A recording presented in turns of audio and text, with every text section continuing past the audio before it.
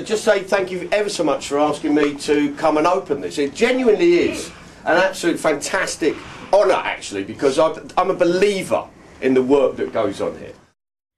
Okay, now the first thing is that all these people were beginners when they came to me. Um, this bowl was made by this wonderful man who's Algerian, and instantly his mother is a potter in Algeria, but he'd never ever ever tried it. Um, and immediately he had a go with the clay. It, it, it clicked, so it's obviously in the gene to some extent.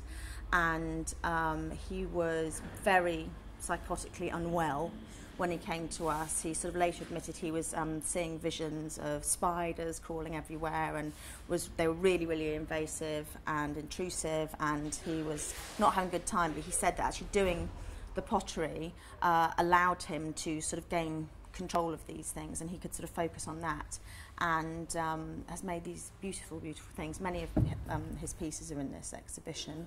Um, similarly, this, this chap here, um, a novice, uh, absolutely, really, really changed him, so much so that he actually wanted to go on and possibly do um, a psychology qualification of some description. And he wrote quite a lot of poetry, and this is a very beautiful um, poem that he wrote using um, him, uh, sort of clay and the making of pottery is a metaphor for his sort of um, transformation uh, into sort of wellness and wholeness. And so it's written all around this, this pot he made and contributed to, but he really, really changed from being a very withdrawn, um, sort of quiet, very, very timid person into visibly growing in self-esteem and um, in a sort of confidence.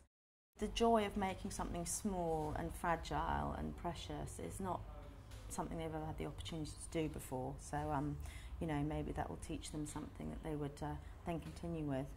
Actually, one guy who is now back in prison, he, um, I taught him a couple of years ago.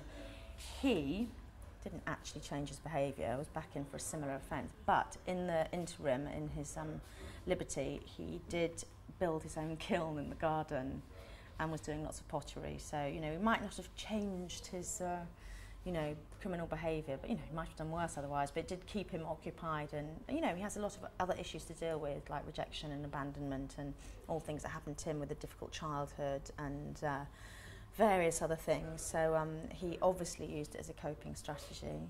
So that's a nice, nice uh, story. The Saxon King. This was, um, he actually wasn't with us for that long, but he um, really, really just, just loved it. He was sort of one of the less complicated, sort of higher functioning people we had, which is why he wasn't with us for so long. But again, he hadn't done pottery before, and it really, really, really transformed his life. And you know, if you could see the faces of people when they're sort of taking their work out to give on visits or to the family, you know, the, the pride is unbelievable. You know, and I've had guys say to me before that I actually had to write a letter to say that they had made it because their girlfriend didn't actually believe they were capable.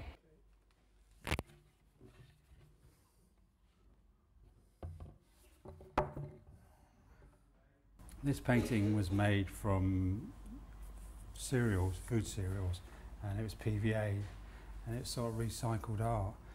Um, chap who did this um, was, for many, many years, he was a listener in um, Pentonville, and he went on and on release, did a lot of voluntary work, and went on to the um, Mary Ward to study art.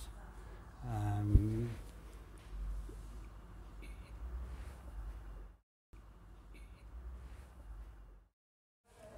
Uh, on the night, it went very well. We, we sold about 20 or 30 percent of the work on the on the actual night itself.